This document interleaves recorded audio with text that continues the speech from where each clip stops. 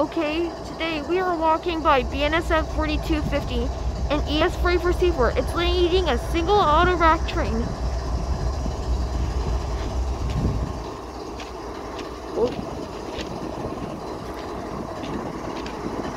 The unit wears the swoosh logo. It has a K5HL horn. A pair of auto racks are visible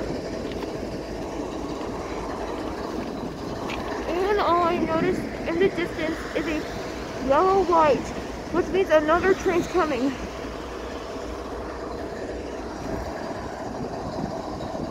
Wow, we walked by BNSF 4250. Cut.